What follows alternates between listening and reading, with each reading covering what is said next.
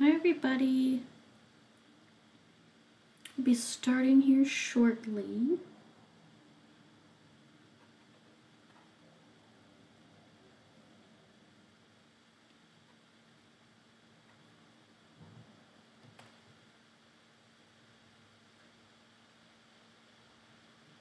Hi.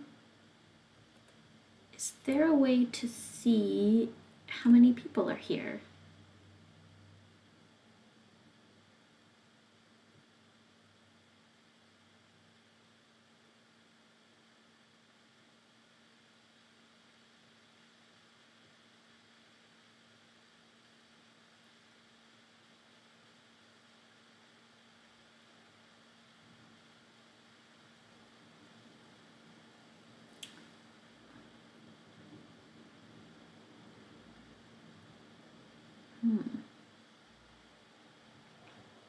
Should be a number under the stream. I'm not seeing a number, but I'll take your word for it. I'm probably just overlooking it.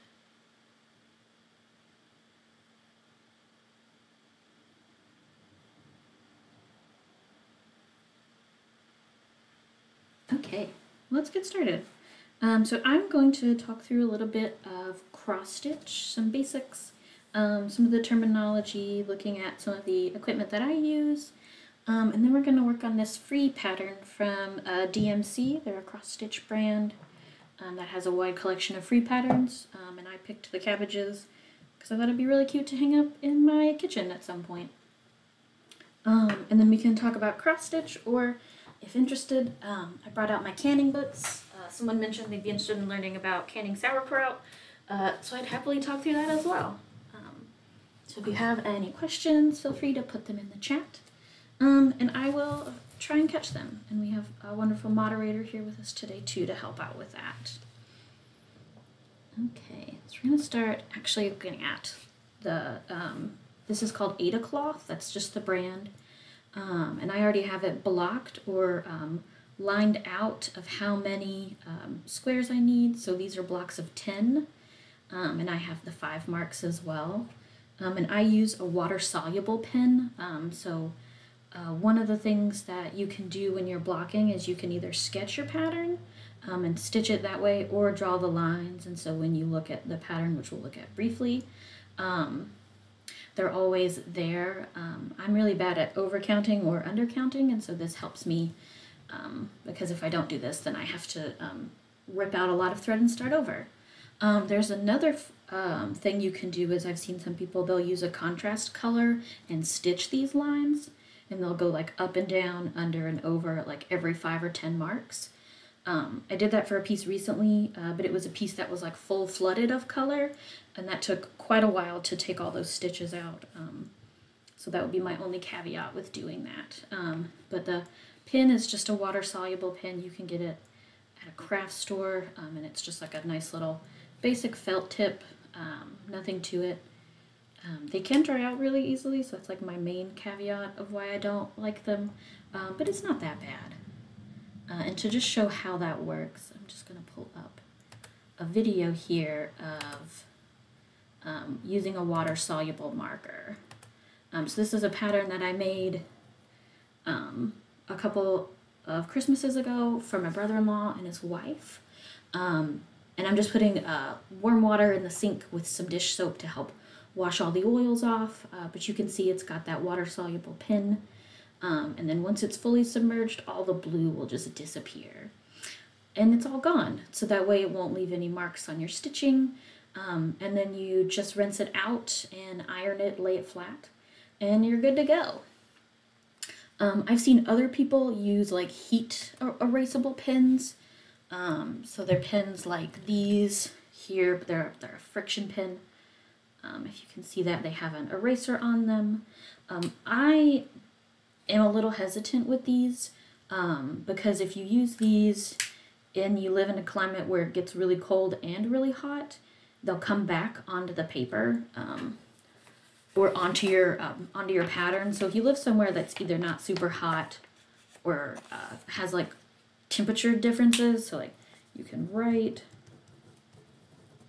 but then um, using the friction of the eraser, it'll erase them um, for the most part. You can't see it, but if this gets cold again, let me try and see if I can blow on it. It'll make the color come back. Okay, that didn't work, but it does happen on the, the, the cross stitch fabric. I've had issues um, with it. So if it's not a problem and you're doing like a full fill, it's okay. But if you have parts that'll have like blank spaces, that's when I'm, I'm a little cautious with using these pins. Um, some other things, so this is Aida cloth 14. And so what that means is there are 14 um, holes per, per inch. Um, so you can use a ruler to help block these off for you. Um, and this varies. I've seen Aida up to like 11 or 10 and then it can go as many as like 28 so that'd be a really small like intricate pattern. I like using Aida 14 because uh, i am visually impaired most of the time. Um, and so using um, something larger that i can see helps me out. But there's 14 squares per inch so that would be from for instance can go a little lower. So this line here to here is 14 stitches and is one full inch so as you're planning your projects, that's really helpful to know. Um, so some other things, there are embroidery hoops. Uh, people always also use them for quilting, so they can be quilt hoops. And these come in a ton of different sizes. They have like really, really tiny ones, or they have like massive ones that you can use. Um, and they usually have this uh, vice clip here that you can tighten or loosen over your fabric. And so people use these in the hoop in a variety of different ways.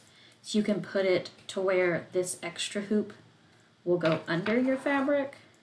So it would look something like this. Oh, and Makerspace has hoops too, which is really great. Um, I found a bunch of mine at um, the Scrap Exchange in Durham. Um, I don't know if they're open right now during the pandemic, but they have um, a ton when I went. And so um, this you can see now, there's part of the pattern in the bottom of this hoop, as well as in the top. Um, this is how I stitch, but I also know people that they'll they'll call this and they'll say they stitch in the ditch because it's basically a, a ditch here. Um, I don't do this. It feels strange to me because I've never done it, but um, if it's what you like, it's what you like, and that's honestly all that matters when it comes to cross stitch. I'm gonna take this out for now. And then a couple other uh, really helpful tips is when you buy um, thread for this, it's usually a six strand thread. And so this is from DMC, that's one of those brands I was talking about. Um, and then on these labels, it'll usually tell you a color code. So this is white, and they use Blanc. Um, DMC is a, a brand out of Montreal, so their stuff is in English and in French. Um, but a couple of other things that are really beneficial on these labels is, let me make sure it'll focus. See. Um, so it tells you uh, washing instructions, which is really helpful if you put these on clothes. Um, but there's this first set of arrow here. It's a golden black arrow, one points up, one points down. So that's really helpful when you go to use this thread. Each package will have it, each little strand of thread. Um, I wasn't sure if it was going to focus on this one. You can see there's that arrow right here. What this means is when you unwind your thread, that's the direction you want to pull this thread. So that way, because um, there's going to be a tail here, and there's usually one somewhere under this um, smaller label. Um, but by pulling on this one to unwrap or use thread, it'll help it not tangle. Um, and I've spent many hours untangling uh, this type of thread, so any um, help is useful. And then I like to put mine on these little um, like thimbles.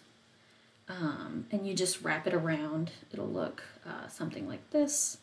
And then I write the number of the uh, color because DMC classifies all their uh, colors as different numbers. So for instance, uh, this is 30 or 3814 um, and that corresponds to like this shade of green. Um, and they have them all in very specific ways. Um, so I'm going to go ahead and wind this white one. I've seen people do some really cool hacks with like uh, using a electric drill and attaching it with a binder clip and just turning it and letting it letting it run. Um, I'm afraid to do that in that it'll get tangled and it'll be a, a bigger mess for me. And then uh, DMC also has like little winders that are just like a little stitch that holds this and it spins it for you and you just hold the thread. Um, I just do it by hand because I don't I don't cross stitch like massive projects that would need me to wind a ton of things at a time. Um, and I honestly just find this a little bit therapeutic of just going through it. Um, oh yeah, and I think uh, we got linked a um, 3D printer version of it, which is really cool. They have them like on Amazon. I don't shop on Amazon, but they have them for like like two or three dollars. Uh, but if we could 3D print them for you, that would also be really helpful. So while I'm winding this, I'm gonna go through a couple other um, cross stitches that I have made just to go over just some ideas. Uh, so this was my very first cross stitch. Um, it's a Retsuko uh, Rage pattern. Um, it's just a like 3D, I'm uh, not a 3D, just a pixelated image that I turned into a cross stitch. Um, but I wanted to point out this one because if you'll see here on this, you'll notice that these threads go in different directions. So some are uh, forward leaning, some are backward leaning, um, and there's nothing wrong with that. Uh, some people will suggest that you do all of your stitches the same direction because it adds a like smoothness to your pattern. So you can kind of see this one looks uh, textured and wavy. Um, but on this one here, this is one that I have them all in the same texture. And then I also included the back because that's very fun to look at sometimes. And then here's that one that I showed getting washed, and that's what the back of it looks like. Um, and this was my most recent one, and you can see the back of it's a bit more of a mess, which is okay. It doesn't have to be um, super pretty. The back of it's always, for me, the, the fun part that I really like to um, look at and take photos of as often as I can. Um, but for today, we're using a DMC pattern. Um, it's a website that um, you can buy your thread here, your yarn, uh, anything like that. Uh, but I like it because they have free patterns. Um, I really enjoy free patterns. So you can go to your cross stitch and it's got um, a wide variety of really anything. Uh, these are all free. Uh, you do have to give your email and get a newsletter, um, but you can give a, a fake email and a, it'll still give it to you. Um, but they have a ton of different designs that you're interested in, if you could be. And then I uh, chose the cabbage, which is under food and drinks. I'm also really interested in this tomato one. The peppers are also very cute. Uh, but for today, we're going to be using this cabbage pattern.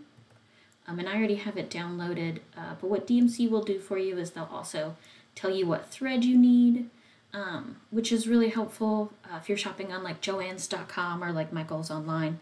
Um, it doesn't have as, as helpful as a search interface, so it does take a little bit more time if you're unable to go in person. Um, but then we're just going to look at the pattern and go through a couple things. Let me check the chat. Okay.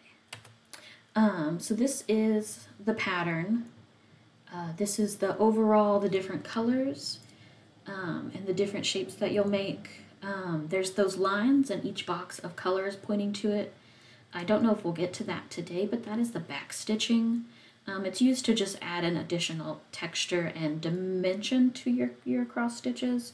Um, they're definitely optional um, and uh, usually pretty simple to do, um, but they can be really intimidating if you've worked on a really great project um, and you're worried you're going to mess it up because that's how I am.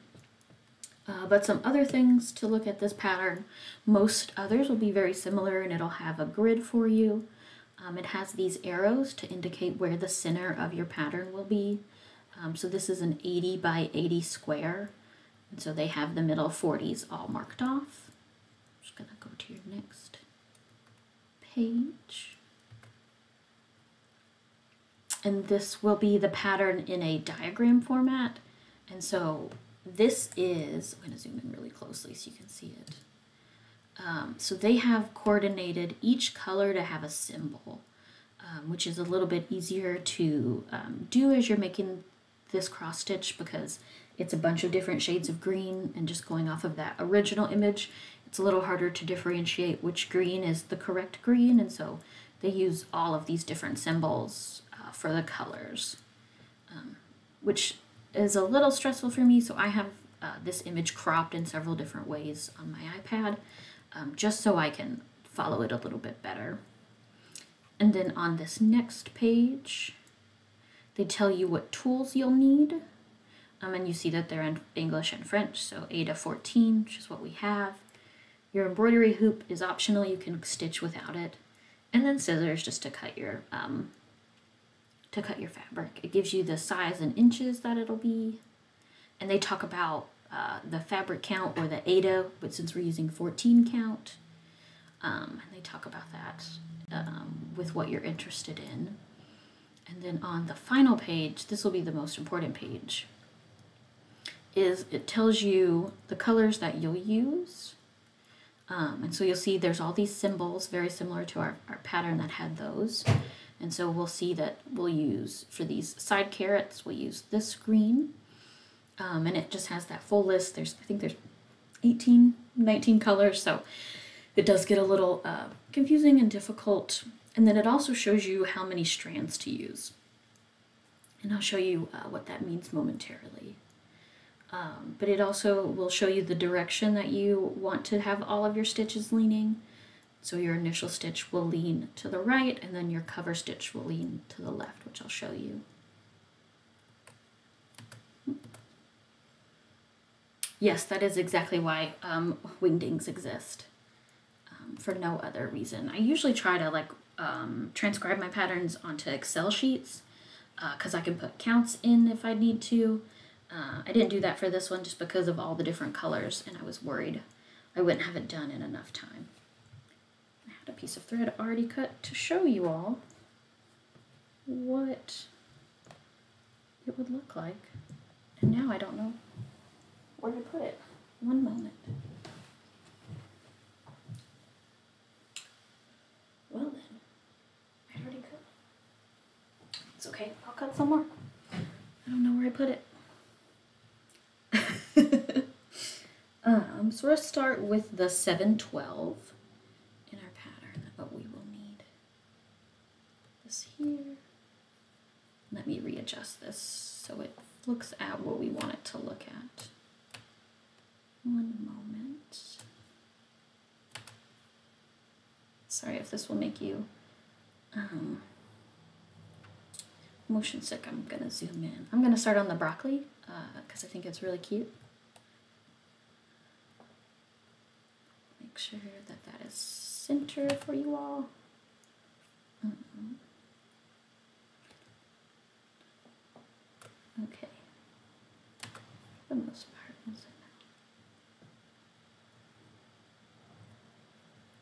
How that look?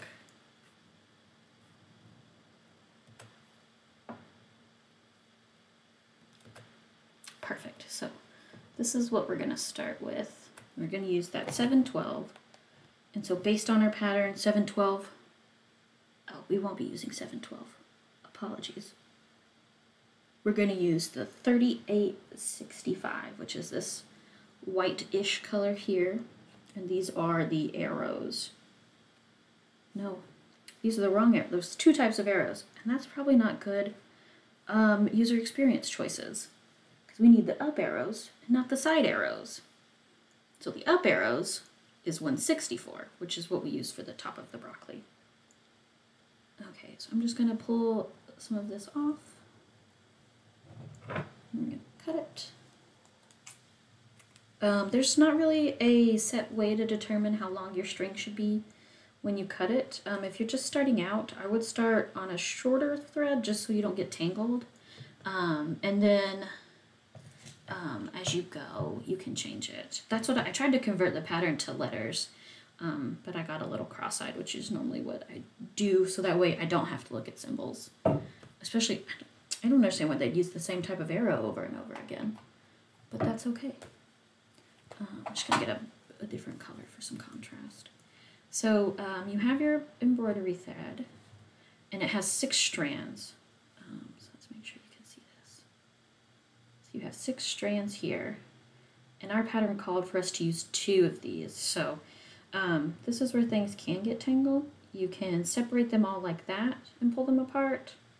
I've seen some people, um, which I think is very witchcraft-esque, is they'll just take this top and they'll pat it to separate it out and they'll take two strands and pull them straight up. Um, but I always get tangles down at the bottom, so I don't do that. Um, but if you do that and you have advice on not getting tangled, let me know. Um, but I just slowly pull it apart. So we have our two strands now.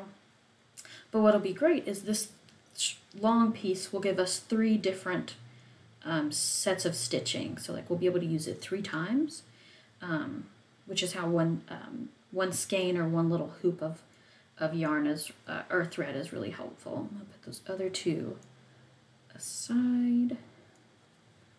Take out this contrast.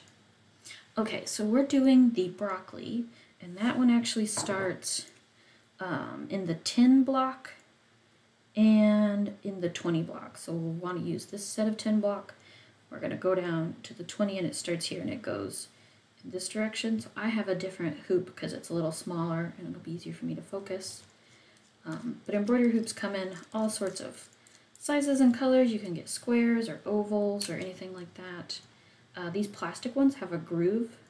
Um, and I like these when I'm working on smaller projects because it holds everything in place really well. So we're going to start right about here. So this would be the 10s and then the 20s. Um, it's very much like um, Battleship when I when I think about uh, putting these and like figuring out where the patterns go. I feel like I'm just I'm gonna start my stitch in like B5, A5. Um, also very like chess-like or cartography-like. Um, and then you can tighten it or loosen it. loosen it a little bit more so it just pops right over. And then once you have it where you need it, you just tighten it up. Um, they also have things called Q snaps. Um, I don't know why they're called Q because they don't shape in a Q, but it's PVC pipe. And what that is, it just like clips onto the side with little hooks. Um, and if you're working on like larger projects, it's really helpful. Um, and then there's also like scrolls and you can put, uh, and the hoop just makes a handle. Yeah, so you can just hold on to it here. Some people will keep them on the embroidery hoops when they're done and use it to hang. Uh, the plastic ones I don't, uh, just because they don't, uh, to me I don't like the aesthetic of them hanging, but people will use these like wooden ones for the hanging aspect of it. Um, so they look really nice and cute. Um, and then there's also products that I've seen where people will put like a like those steering wheel looking covers over these, um, which is really cool. So that way the edges don't get dirty. Um, if you're working on a project that's going to take a long time, you can just roll it up and put that fabric over it to help you hold it. Um, but since this is going to be a really small project, it's not going to be um, that important. Okay, so I'm going to now thread my needle. If I can find my needle box. One. Right here. I'm working on another project and I think my needle box is consumed with that project. But I have backup needles to hear me rustling inside of a just a little sh plastic shoebox while I find these needles. see. Oh, they're over here. Um, so for these, you can, for when you cross stitch, you can use um, sewing needles, uh, but just be really careful with how sharp they are. Um, there are specific like cross stitch and embroidery needles that don't have a point and they work more like a tapestry needle. I like using those because then I don't stab myself um, over and over again. But these are some uh, DMC needles uh, that I got as a gift. They're gold plated, so I'm told that they slide smoother. Um, I have not tested them to find that out, but we will check that now. Um, I'll also say I typically have clammy hands, and so I sometimes struggle with needles in general, uh, just because they are so hard to pull out. Well, this being that example.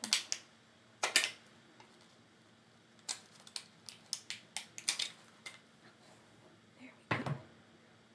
And so these needles have a point, so that'll be something for me to remember as I do this. And so there's a couple of different ways that you can start your cross stitch.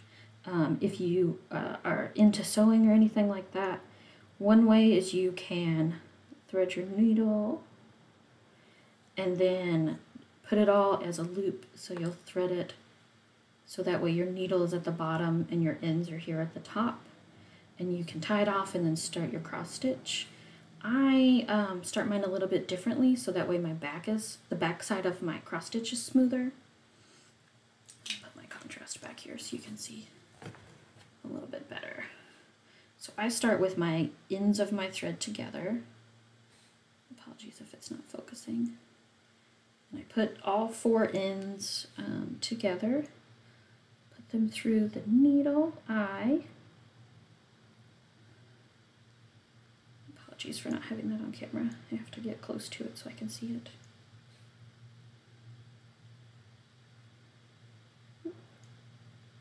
Missing two through it. And then you can use um, some beeswax uh, to, to smooth out your thread if you need to. Um, if it's a project for me, I'll just use some like chapstick that I have lying around and just rub it on the ends. Um, but if it's for somebody else, I'll use a specific wax. Um, but so what I've done now is I've pulled those ends, so this is all four ends of it through this hoop. So there'll be loose ends here, but then I'll have my loop down here at the bottom. If you can see that. So this is the loop of the thread. And so what I'm gonna do, let's see, so I start 10, 20, and over four. Okay, so if I start over here in the 20s, so this is 10, and then it goes down. The top of those is at six, I think. One, two, three, four, five, six. Yep. So we have one, two, three, four, five. So that's five, and then this will be six. But we start three off of this. So that's one, two, three. Okay. So one of, so since we're starting this, what we're gonna do is we're gonna pull it slightly through here. We're not gonna pull it all the way. We still have that hoop in the back. And you're going to put your diagonal, I think this is the opposite direction that it has it but it's all preference. So I'm going to put it through that diagonal box here. Um, so you always go from the point that you start to the diagonal below it. And we're going to put that, we're not going to pull it all the way through, but you can see it's kind of taut. But then you have your back here, and you have this loop that we created. Okay, and we're going to put the needle through that loop. because then, and then you're just going to pull it tight. This can tangle up sometimes, so just take your time. And now we've started our cross stitch and there's no knot. And so if you're going to frame this um, or anything like that, you don't have to worry about a knot.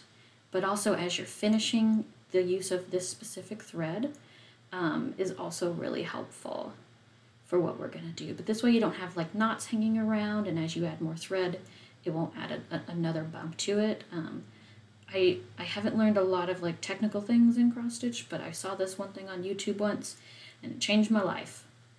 So I try to share it with everybody as often as I can. Okay.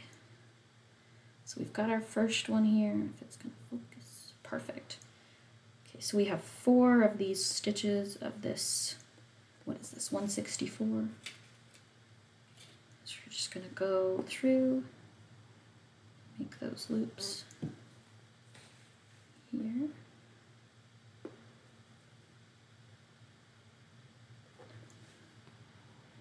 And um, what I do is I try to do all one direction of stitches at a time in a pattern. I know some people who um, will start in the middle of the pattern and work outwards. Um, I don't think there's a right or wrong way, it's just preference on how you want to do the pattern. Um, I picked this to just do one vegetable at a time, uh, just because they all change colors so often, it's just going to be easier for me.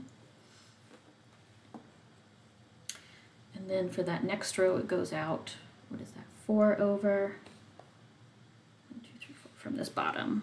And so what I'll do, put this up here, is I'll count, um, so we need four over, and so this here would be our it's really hard to see, so I apologize. So this will be one and we'll go over four, which looks like it's right on that five line that I have drawn, which will be really helpful. So that's, we have one, uh, two, three, four, five.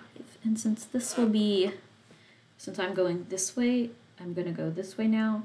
And so I'll start at the bottom of this. This is just one of those like preference things that I do. Um, so that way I don't have to like backstitch going the other direction, if that makes any sense. I'll show you real quick.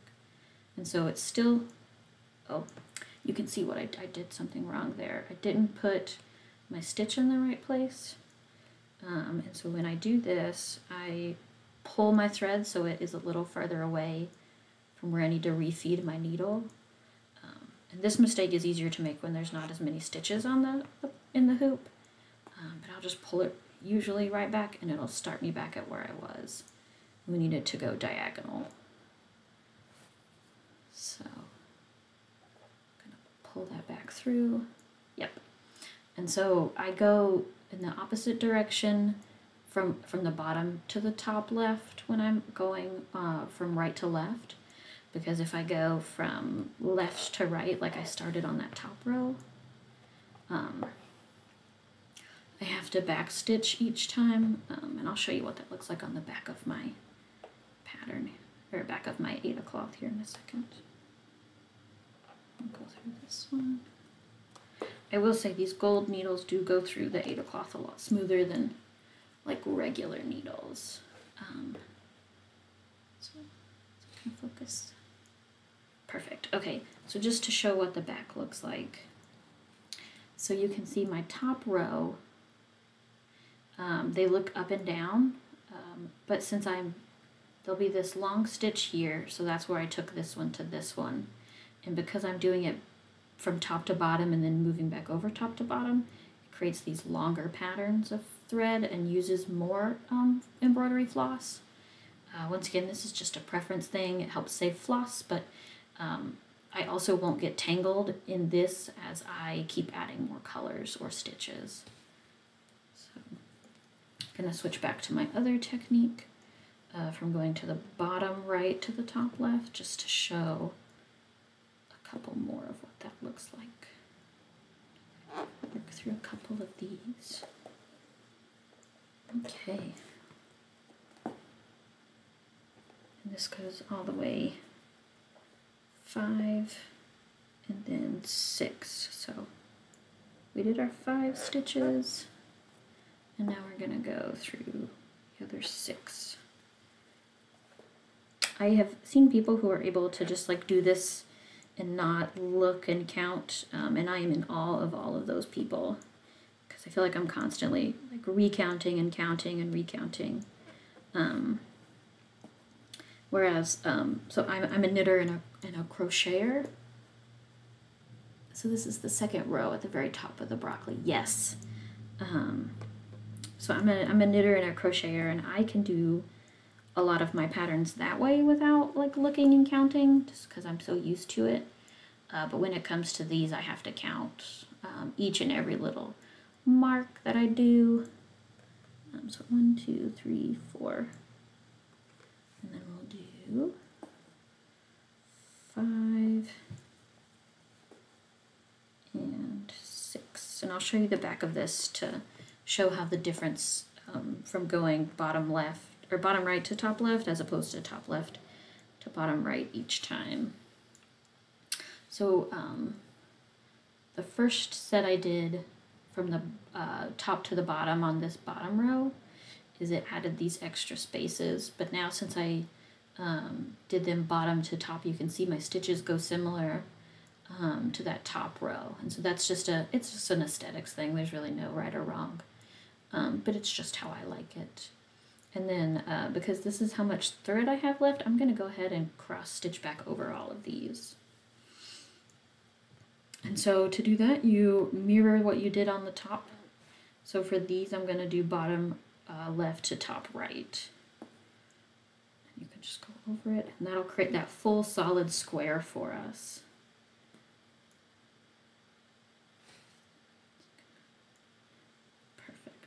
I'm just gonna go across all those here.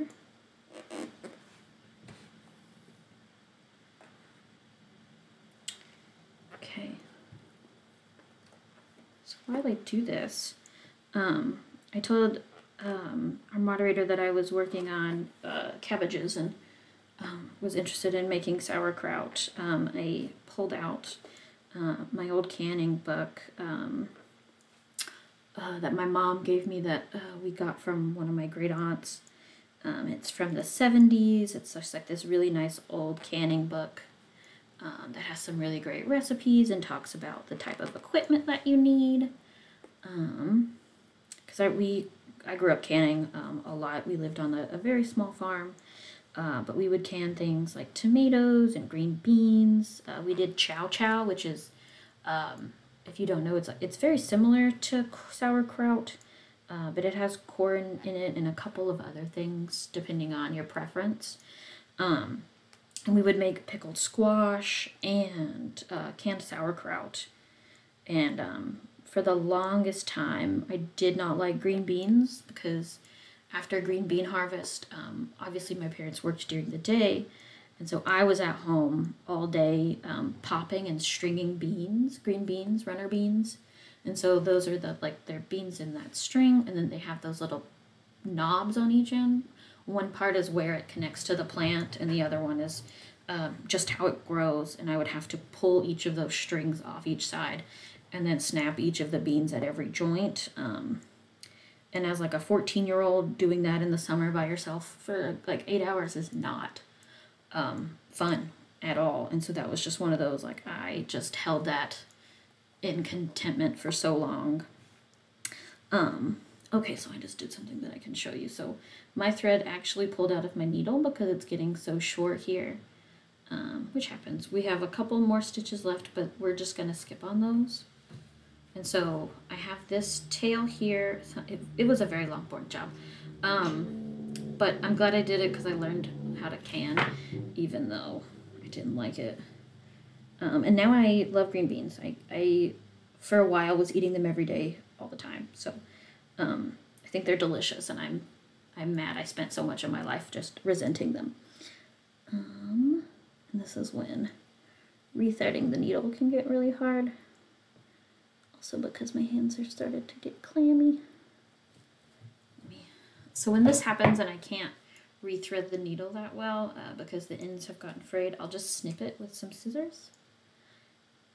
Um, my go-to recipe for green beans is I will um, put them on a sheet tray with a little bit of olive oil and then I'll do either fresh garlic if I have any um, or garlic powder and then some onion powder and salt and pepper and then I really love smoked paprika um, and then I'll just put that over it and then roast them for about 10 to 15 minutes because uh, I still want them with that really good crunch um, and then just make for like some really great snacks.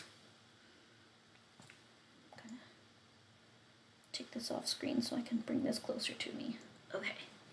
So I have rethreaded this, um, and then, so now that we have this extra piece that we can't really keep stitching, uh, we're going to lock it in place or secure it. Um, and I might take it out of the hoop so I have more room for my hands to show you this. Just to take that off.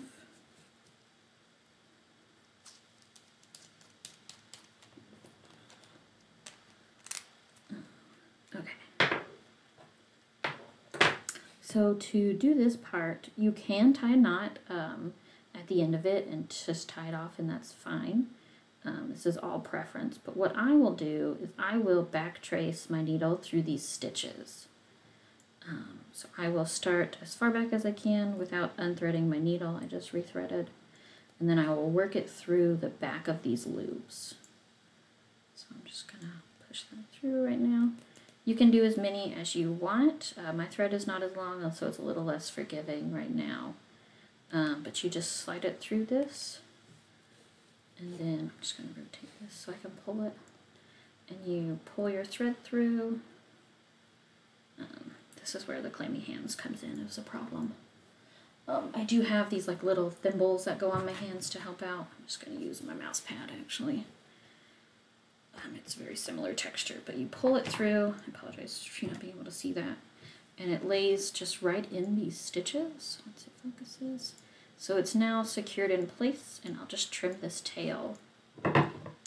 And so it keeps things on the back really flat. So if you're framing a cross stitch, this is like a really helpful, um, really helpful workaround to keep it flat as you put it in a frame because sometimes they're a little hard to put in frames. But also as you continue to stitch, it doesn't get caught in your other stitches. Um, if you're using the same color, um, it's not as bad, but if you're using other colors and you poke through it'll like bleed in other colors. So like you'll have like grays or blacks or whatever other color you're working with. Okay.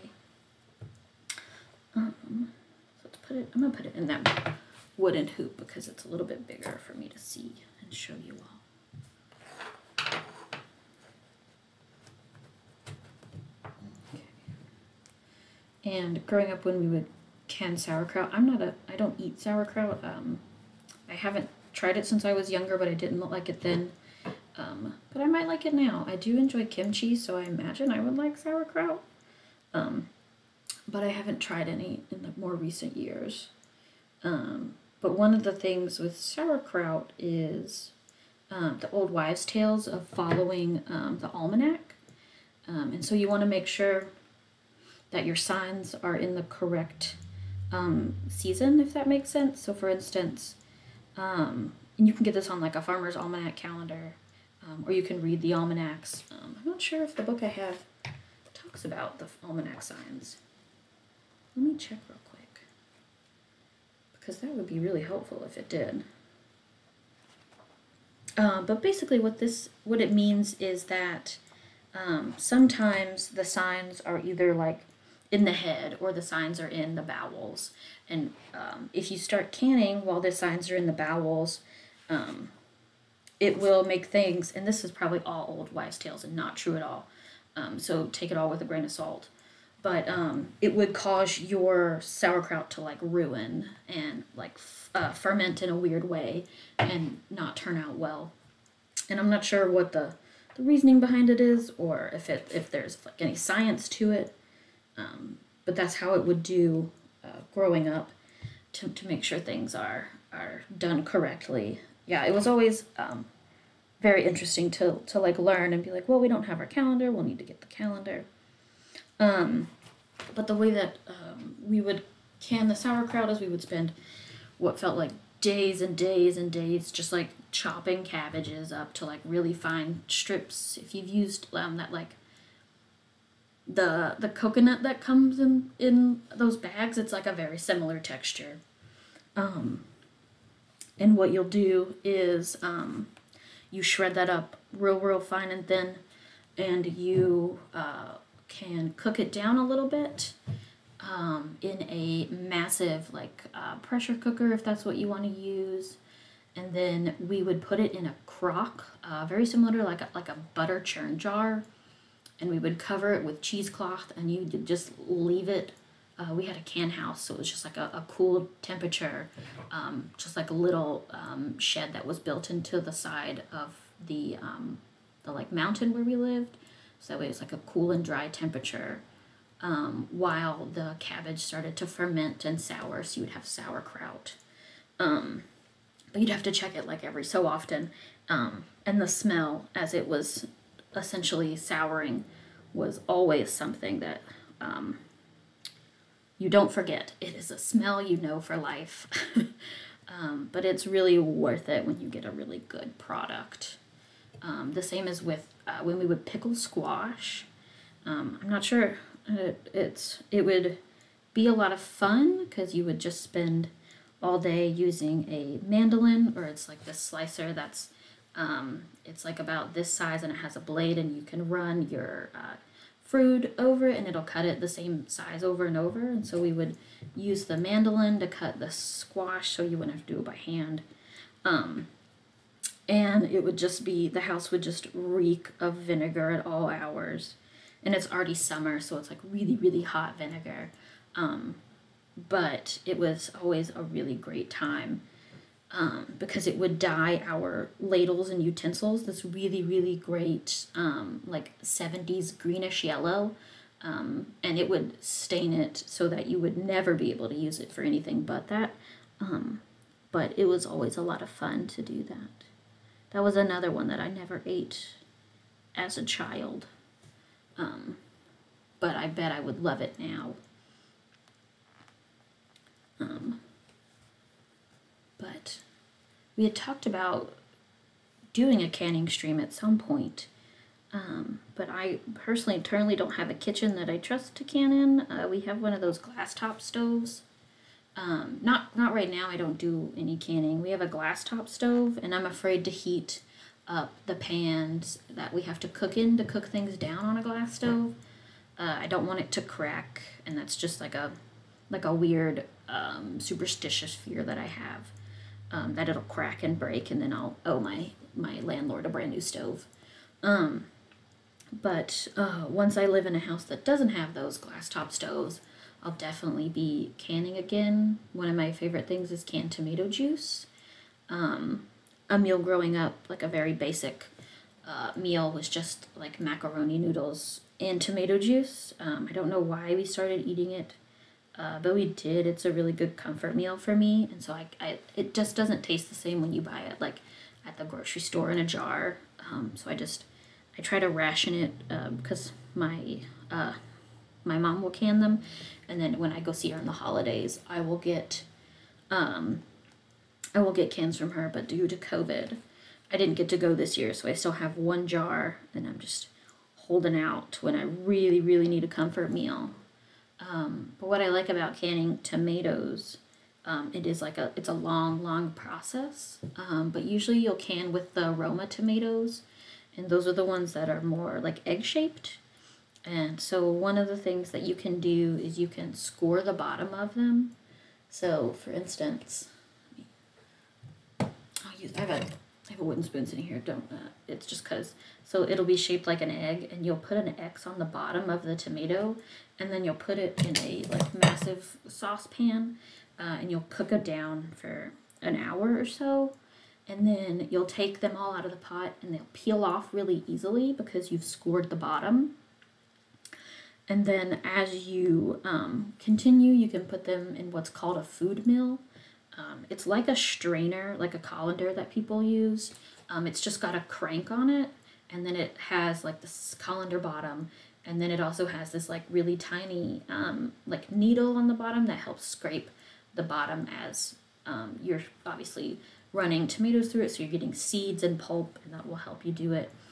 Um, and then once you have all of your tomato juice grinded out, you cook it down some more. You add in your canning salt, which helps with preserving. Um, you bring it to a boil, and then you will put it in your sanitized jars. Um, yes, also called the, the, the rotary mill. But you'll put it in your sanitized jars with your new um, lids and rings. So um, if you've not seen a canning jar, they'll have the, the ring of the jar, and then there's a lid or a flat, and these come separate. Um, your rings can be reused, uh, but your flats cannot um, because they have a seal on them. And so once they've heat sealed, it's advised to not use it because then you can um, potentially get things like botulism if that seal is broken, um, or it can cause your mold, like it can cause mold to grow in yours. Um, so rings you can use over and over again as long as there's no rust. Um, but yeah, and you'll uh, sanitize those. And the way we did that growing up is we would just cook the jars in the oven at like 300 degrees so that way they stayed in there nice and hot. And then we would boil the, the rings and the, the, the lids or the flats in water and then uh, take them out of the boiling water as we needed them just to keep everything sanitized. And then you would fill up your jars. Um, you would burp them or make sure that there's no air bubbles, uh, which also can lead to um, botulism, which is more found in like green beans and things like that. Um, and then you put your flat part of the lid on and you put your ring on and then you wait and the jars will pop. They'll have this like, um, you know when you're like opening a jar and that popping sound? It's very similar in canning, except as opposed to the lid popping off, it actually seals the can, so it, it, it creates that vacuum seal to keep everything like nice and preserved. Um, and then if your jar doesn't seal, um, you'll either have to eat the product that's in it right away or throw it away because then it's um, it can cause um, potential other like foodborne illnesses or it would cause it to sour and um, that would lead to potential health issues and we don't want that. Um, but yes, so uh, they're linked a government document of canning. Um, we actually have a really great food science department here at NC State. Um, and they have a food science lab on campus. And so they'll look at all sorts of things, but um, preserving foods is one of them. And then um, NC State is a land grant institution. And so one of the missions of that is that we serve the community of North Carolina through cooperative extension. And this is an office that runs out of the CALS department as well as some in natural resources and some in the College of Sciences. And these are people who are in the community um, taking the research that people are doing at NC State and making sure the community has access to it. Um, and one of those within the family and consumer sciences is they will run canning demos. Um, it's done in person um, outside of COVID, uh, but during COVID, they're done uh, remote and online um, through the cooperative extension.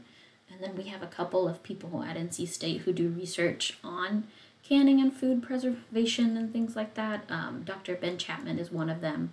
Um, and he also has a podcast on like ferment on um, fermenting foods and um, food preservation. It's really fascinating.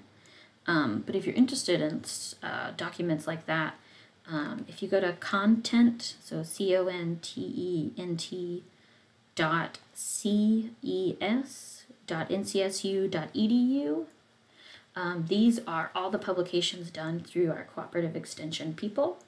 And so it has things like um, gardening in there in our area, um, chemical indices for farmers, um, it has things like invasive species and how to handle them. Uh, they have a lot of work on um, COVID and how that affects the, the food process from farm to table. Um, they also have really great uh, resources on how to like make a pollinator garden um, and all sorts of like bugs that you'll find here in North Carolina. Um, it's really a, a wealth of resources that um, we have here through them at NC State. Yes, the USDA guide. That's what I have. Uh, but back when it was in print. So this is what mine looks like. The guide. It was bought for a dollar, uh, but it sold for two fifty. Um, and they have just like some. They also still offer this in print if someone wanted it. Um, but this one was printed in uh, 73 and it has some, some really great um, graphics for you if you're interested in it. I'm sure the, the one that um, is linked, but it'll show you like how to make your jam with powdered pectin, which is how you get your jam to um, to solidify. And then, um, so we got this from my great aunt, which was really exciting because I found, as I was looking through this the other day, um, I found one of her like written recipes on how to can some stuff that she got from Ingrid um, and how to make pepper relish and how to can cucumbers so you get pickles. Um, and so I'm going to scan this later this week so I get to keep it because it's gotten some like water damage and stuff. Um, but just have some really great recipes um, that I'm excited for. But yeah, this is a, I'm really excited to potentially have a house that has a stove that I can can on. Um, but yeah, so this shows you um, of the green beans that I was talking about. Um, they cut them. I snapped them all by hand. Um, that was probably, I probably should have cut them thinking back on it now, but that's okay. But they also have stuff on like how to can meats if you eat meat. That's really helpful. Um, and how to can um, different fruits and vegetables. Um, I'm really excited that there's this continued push to um, do preserves at home, and I think um, with COVID and everyone being home, it's definitely been a more of a push, especially with people doing like sourdough starters um, and things like that. But here's what I was talking about with the canning lids. And so, will let that focus. So you have this metal ring and there's a hole and you have the lid that has that sealing compound and then the lid. And then there are jars that have a complete full lid but have a rubber sealer. Um, that's just a, a preference on what you want for canning, but it's really cool. And this has some like really great Q and A's of like what to do if something is lost during it, what ha- like why does certain things float, um, just some like really good triage questions, which I think is helpful and missing from a lot of other like cookbooks and things like that of today. Um, so we didn't get too too far into the cross stitch. I will keep working on this. I will um, share it with our streaming people, and then we can get um, get that shared. I know I think there's going to be some more streams later this semester, but eventually this will make one really nice broccoli, and then I'll have space for all the other ones.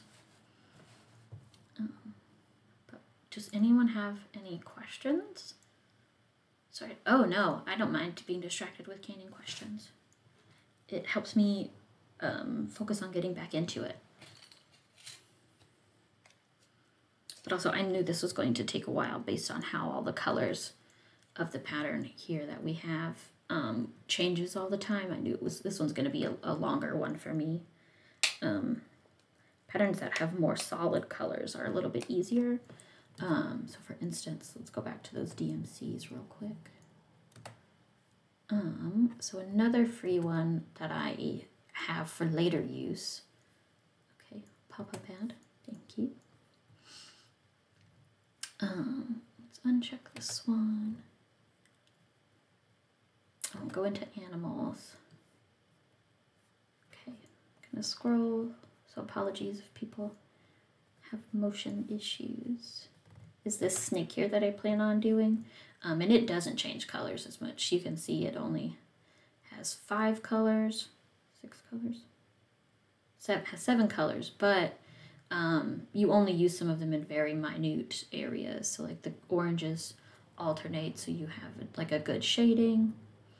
Um, so like things like this wouldn't take as long as the one we're working on now. Um, if you are interested in those. But yeah, cross stitch can be a lot of fun. Um, you can take pixelated images or like like a coloring page um, that a lot of like applications do now. I'll see if I can show you the um, Retsuko pattern that I have that I did. Um, because it was just a, a coloring page. This might not show very well, but it was just a coloring page um, that I just can, I took this to Joann's and I looked at all the colors and I just matched them and just made it from pixel as like a, a color by number art page. Um, so really you can make anything into cross stitch. That's really cool. Um, there's some fun snarky ones that people use if that's what you're uh, interested in. I know some people really enjoy those and think they're fun. Um, but yeah, there's the snake pattern. Uh, but we are at time, so I'm happy to hang around and ask any questions. Um, and otherwise, you'll have to tune into some other streams that we do that you can find on the Twitch page. You can also find it on our NCSU page if you are interested.